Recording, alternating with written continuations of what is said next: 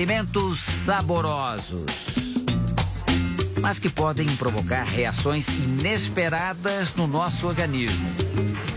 É muito comum é com camarão. Nozes. Ah, eu já ouvi falar do amendoim. É preciso tomar cuidado para que a comida não se transforme em uma armadilha. Às vezes o problema não está no prato, na comida, no petisco. Algumas pessoas têm alergia a determinados alimentos. É assim, a pessoa come alguma coisa e o organismo entende que há um corpo estranho. Aí ele reage para se defender. Tem gente que não pode nem com um amendoinzinho ou uma castanha. É comer e logo, logo aparecem os sintomas. Pode ser inchaço, bebelidão, coceira. As alergias estão ligadas à dificuldade de digestão das proteínas dos alimentos. É uma reação do nosso sistema imunológico que interpreta uma proteína do alimento como um possível invasor. Aliás, é assim que o sistema imunológico reconhece bactérias, vírus como invasores, reconhecendo a proteína presente na carapaça de, desses organismos. Às vezes, as reações do nosso corpo podem ir além do mal-estar e de problemas na pele. A gente pode ter taquicardia, desmaio, queda da pressão e, em casos extremos, pode ter o choque anafilático, que é muito arriscado porque pode levar ao coma e à morte. Existem alguns alimentos que são campeões de alergia. Isto porque eles possuem as proteínas que o organismo tem mais dificuldade para digerir. Os campeões seriam camarão e frutos do mar e os frutos secos, nozes, avelãs, amendoim, castanhas, etc. No caso das crianças, a lista pode ser um pouco diferente. Na criança, os campeões de alergia alimentar são os alimentos de introdução recente. Então aí nós vamos ter principalmente leite, ovo e trigo, porque a criança está saindo do aleitamento materno, começa a ter contato com essas proteínas diferentes. Então, as pessoas que são alérgicas a alimentos comuns, como o leite e o trigo, devem eliminá-los da dieta para sempre. Mito ou verdade? Verdade. Mas existe uma exceção é a possibilidade de você induzir tolerância àquele alimento, com um especialista, em hospital, em casos muito selecionados. Outro perigo é consumir alguma substância alergênica sem saber, em especial nos alimentos industrializados. Por isso, a Agência Nacional de Vigilância Sanitária, a Anvisa, determinou uma nova regra os fabricantes são obrigados agora a declarar nos rótulos de forma bem clara a presença dos principais alimentos que podem causar alergias. Quando Lilian vai comer fora, ela já sabe o que pedir.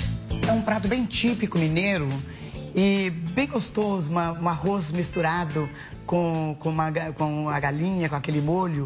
É uma, uma tipo bem, bem Quem gostava muito desse prato era o Juscelino Kubitschek, por isso que chama galinhada JK. A Lilian pediu o frango com arroz, a galinhada dela, que ela tava salivando aqui. Agora você vai ficar com inveja do meu prato, viu? Agora Será? chegou a minha vez. Olha esses camarões maravilhosos. Meu Deus do céu, é lindo. Mas só de olhar já começa a me dar coceira. É mesmo? É verdade.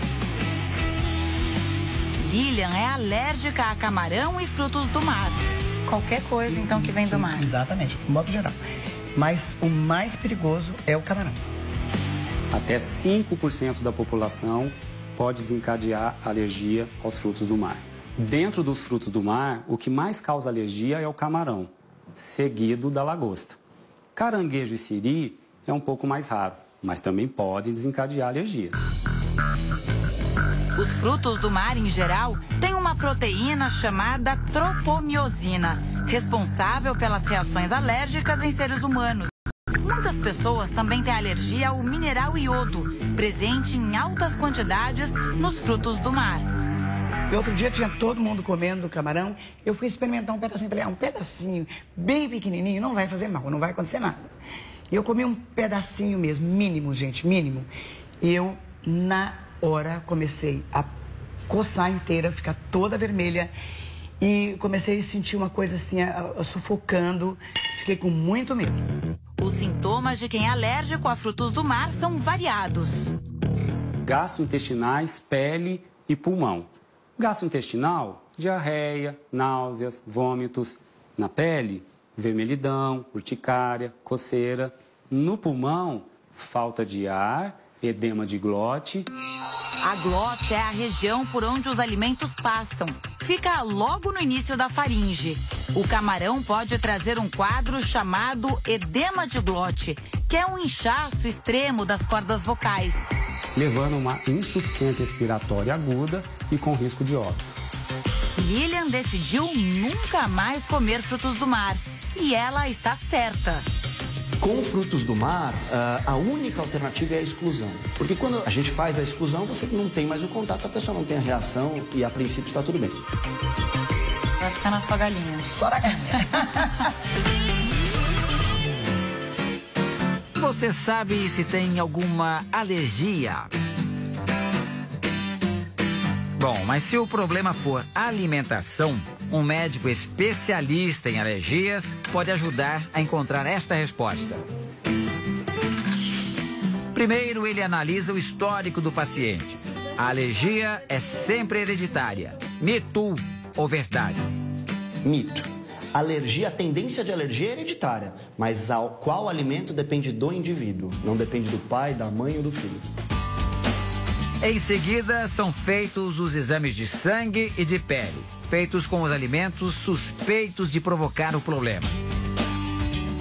Então a gente coloca as substâncias de estudo no braço do paciente e cronometramos 15 a 20 minutos. Local com vermelhidão é sinal de alergia. Mostra as células de defesa, os anticorpos da pessoa reagindo contra determinado alimento. Depois de 15 minutos, a substância positiva ela causa aquele inchaço. Então isso seria uma substância testada positiva num teste alérgico comum. Diante do resultado do teste, o médico pede uma dieta de exclusão. A pessoa fica sem comer o alimento suspeito por até seis semanas. Se os sintomas desaparecerem, uma outra análise, um teste chamado de provocação oral, deve ser feito para confirmar o diagnóstico. Que é reexpor o paciente àquele alimento, mas em ambiente hospitalar, com médico experiente presente. Se o alimento não for identificado, o processo se reinicia até que se encontre o responsável pela alergia. Mas atenção! Esse tipo de teste é contraindicado quando houve uma reação grave muito recente. Algumas alergias alimentares podem desaparecer com o tempo. Mito ou verdade? É verdade. A maioria das alergias alimentares da primeira infância tendem a regredir se feita uma boa exclusão até a idade adulta. Mas existem aquelas crianças que viram adultos alérgicos que começaram desde pequenininhos. O café da manhã ou o lanche da tarde na casa do Bruno é assim, a base de tapioca. Ele é alérgico a trigo e não pode comer pão francês, por exemplo. E a lista de alergias de Bruno não para por aí. Além do trigo, ele é alérgico a amendoim. Bruno descobriu depois de um exame no estômago. Mais ou menos dois anos, dois anos e meio atrás, eu sentia muito desconforto no estômago, sentia dor no esôfago, dor no peito. Desde que soube que era alérgico a amendoim, Bruno passou a ter atenção redobrada com o que come. Mais que isso, eu não consigo nem comer os doces, por exemplo, na, numa festa junina, não consigo comer uma paçoquinha. Os cuidados não param por aí. O iogurte com cereais e a bolacha de chocolate, por exemplo, tem vários ingredientes que Bruno não pode comer. Alguns produtos possuem frutos secos também mascarados, escondidos em outros produtos. Então, é mais uma da importância do tal do põe no rótulo, para a pessoa não se expor sem saber, inadvertidamente, e ter uma reação. De longe ele parece inofensivo, mas não se engane, o baiacu esconde um grande risco prato é a especialidade deste restaurante, escondido em bairro tranquilo, no subúrbio de Tóquio, capital do Japão. Por aqui, o peixe é conhecido como fugu.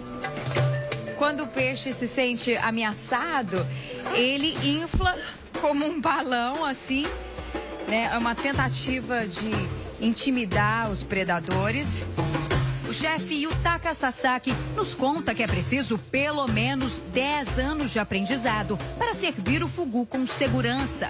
Além disso, todo restaurante que oferece a iguaria deve ter uma licença especial do governo. Mas afinal, por que o baiacu é tão perigoso? Esse peixe armazena chamadas neurotoxinas, ou seja, toxinas que têm o poder de afetar o sistema nervoso. Mas a quantidade dessa substância varia de espécie para espécie. Algumas são tão venenosas que podem matar.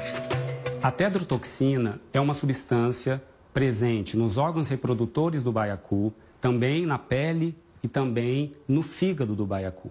E ela é altamente neurotóxica, podendo levar à paralisia do sistema nervoso central, da respiração, levando ao óbito em até seis horas depois de ingerida.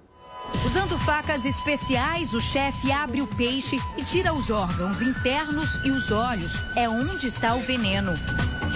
Essas partes são armazenadas nesse recipiente e descartadas corretamente. Com a pele e o couro, ele faz uma espécie de gelatina.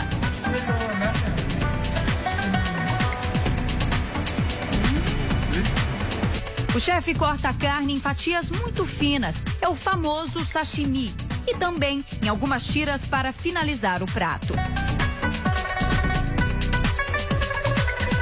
O restante é servido frito ou grelhado. O chefe prepara tudo na frente do cliente. Não existe um antídoto para esse veneno.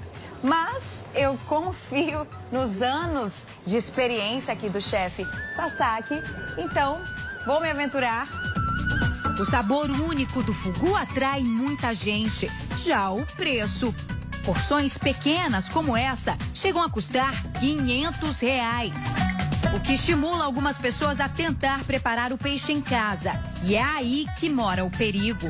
Só no ano passado, 46 japoneses foram internados por envenenamento. Uma pessoa morreu. Na costa brasileira, existem nove espécies de baiacu. Em relação aos peixes japoneses, os riscos são mais leves. Não existem estatísticas, mas a maioria dos relatos de intoxicação se referem a náuseas e vômitos. Brito aprendeu a lidar com esses peixes há quase 25 anos. O professor era um chefe de cozinha japonês. Ele era muito bom na gastronomia, né? E sempre eu fui um cara delicado, sempre quis aprender como é que se abria um baiacu. Brito corta o peixe com todo cuidado. Essa bolsinha verde, que é a bolsa de fel, se ela estourar na abertura do peixe, ela vai contaminar esse peixe. Esse peixe não vai servir para o consumo. Ele retira todas as partes perigosas e limpa bem. A espinha dele é super pouca.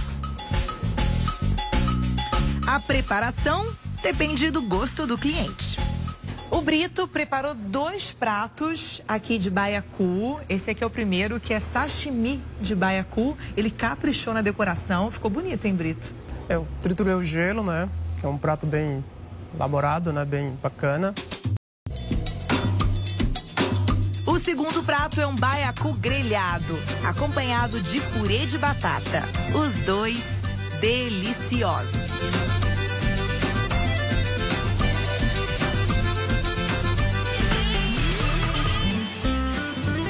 O fruto mais popular do Cerrado, que vai bem puro e até em pratos com frango e arroz. Mas o sabor especial do pequi também guarda seus perigos. A parte comestível é só essa fininha por fora. No meio é tudo espinho, como mostra a repórter Fernanda Arcanjo. Normalmente, os restaurantes que vendem piqui têm esse tipo de aviso. Em português, e principalmente em inglês. O que quem é daqui já conhece, mas pessoas que vêm de fora do país ou mesmo de outras regiões pode não saber do perigo de morder o caroço. O pequi, ele pode trazer algum risco pelo seu caroço, que tem umas espículas muito pontudinhas, mas que são cobertas pela polpa da fruta. Na mastigação, se a gente morder e essa, esse caroço agredir pelo seu espinho, o céu da boca ou a língua, causa uma inflamação com uma dor terrível. É por isso que as pessoas comem assim, com muito cuidado, só roendo a polpa. Você pega o piqui, né? E você vai roendo, né? Só por cima, aquela casca. É, só por cima, por, porque tem a, o e por baixo tem a castanha. Quase todo mundo tem uma experiência ruim com o pequi para contar. Eu já vi várias crianças que pequenas, né, que quando estão roendo o piqui, aí morde e fica cheinha a língua de, de espinhos. Nesta mesa, por exemplo, são todos de fora de Goiás. E hoje vão experimentar pequi pela primeira vez. Gostei, diferente. Eu achei muito bom. Eu gostei. Não espetou a língua não, né? Não, não, com cuidado. Pequi pode ser até perigoso se for comido de forma errada. Mas vale o risco. O fruto faz bem para a saúde. O pequi é uma boa fonte de gordura monoinsaturada, que é uma gordura que ajuda a elevar o bom colesterol. Semelhante até ao que se acontece com azeite. É uma fonte de potássio, que ajuda a regularizar os níveis de pressão arterial. É uma fonte de vitamina A, que ajuda na saúde dos olhos, no sistema imunológico e na pele. E também é fonte de fibras, que ajuda a prolongar a saciedade e também ajuda a diminuir a absorção do colesterol.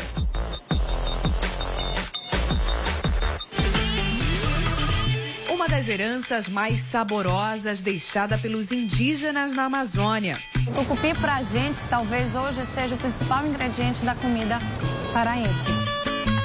No mercado do Ver o Peso, em Belém, é fácil encontrar o tucupi. Ele é um caldo amarelo extraído da mandioca brava, uma espécie de mandioca pouco conhecida pelos brasileiros. Geralmente, as pessoas têm mais contato com a mandioca doce, também chamada de aipim e macaxeira. A mandioca brava, talvez até o nome já seja sugestivo, carrega substâncias consideradas agressivas e tóxicas para o corpo humano. Visualmente é muito complicado diferenciar uma mandioca da outra. Elas são praticamente iguais. Mas a mandioca brava tem uma substância tóxica chamada ácido cianídrico. O ácido cianídrico é uma substância encontrada na polpa da mandioca brava que, em contato com os nossos glóbulos vermelhos, dificultam o transporte de oxigênio por eles. Isso pode provocar insuficiência respiratória e até a morte. Mas calma, a mandioca brava só representa um perigo se consumida in natura. Por isso, ela precisa ser fervida em altas temperaturas. Em Belém, a mandioca brava é descascada, ralada e espremida. E assim é extraído o caldo do tucupi. Depois de extraído da raiz da mandioca, o tucupi é fervido para que esse ácido seja totalmente liberado e aí sim pode fazer parte, está pronto para compor aí receitas típicas da região amazônica, né, Daniela? Quanto tempo de fervura é necessário? Olha, Marina, esse aqui já foi fervido pelo menos por três horas, tá? Entre três e quatro horas e temperado. Ah, eu vou fazer. A chefe Daniela Martins vai ensinar uma receita rápida e fácil: arroz de camarão com tucupi e jambu. Para quem não sabe, o jambu é a hortaliça aqui, típica da região amazônica. No lugar da água, o arroz é cozido no tucupi. Dá aquela mexidinha. Precisa colocar sal Precisa tem? colocar um pouquinho de sal, mas não muito, porque o tucupi ele já tem um pouco, pela acidez, ele já é um pouquinho salgado. E vai deixar o tucupi, o arroz co- cozinhar como se cozinha um arroz normal. Depois ela coloca o camarão temperado, ervas e o jambu. Rega um pouquinho mais de tucupi para ficar com bem gosto de tucupi e pode se deliciar. A dona Vera, paraense e apaixonada por tucupi, aprovou a receita e come sem medo de ser feliz. Olha, um paraense dizer que não gosta de tucupi seria o caos. É uma delícia.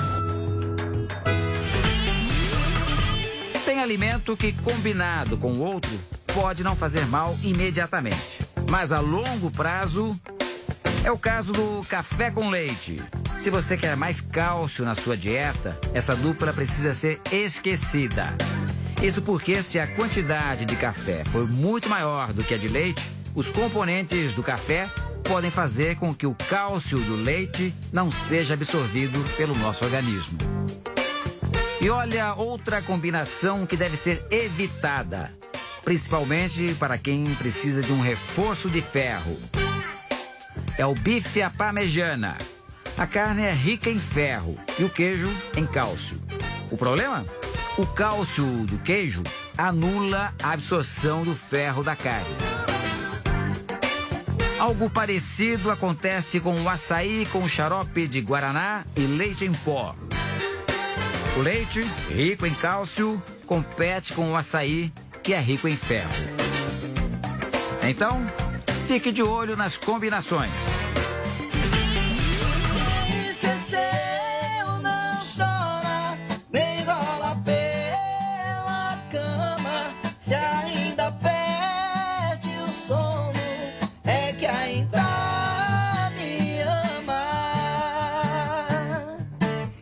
Coisa linda, gente!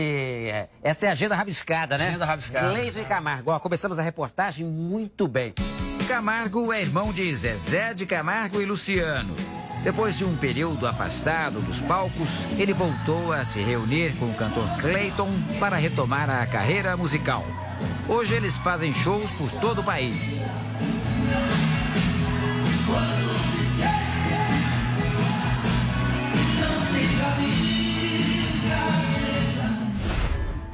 E não é só a música que os dois têm em comum.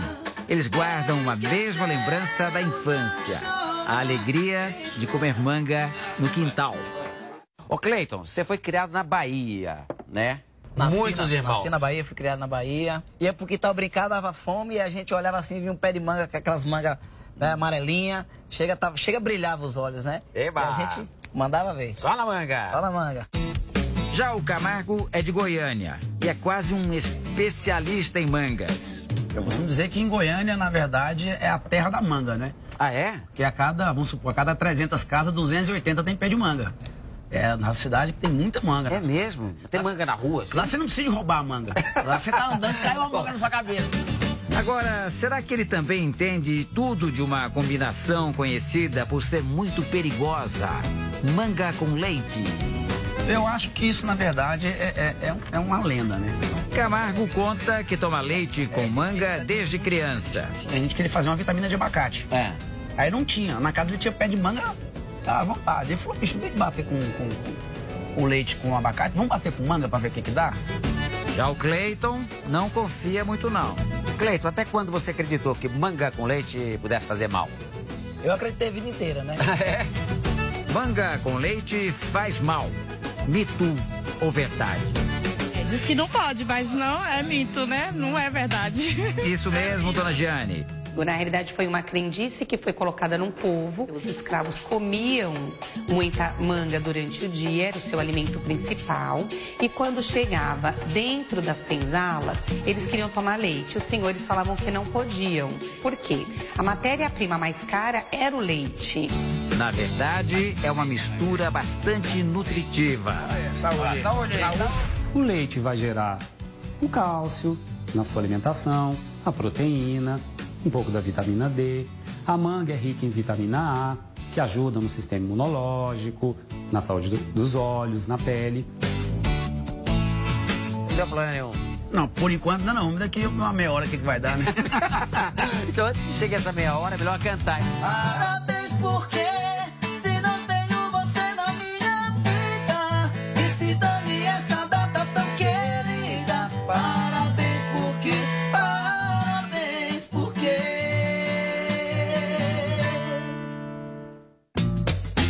Saiba mais sobre os mitos e verdades dos alimentos perigosos no nosso site na internet r7.com barra Domingo Espetacular.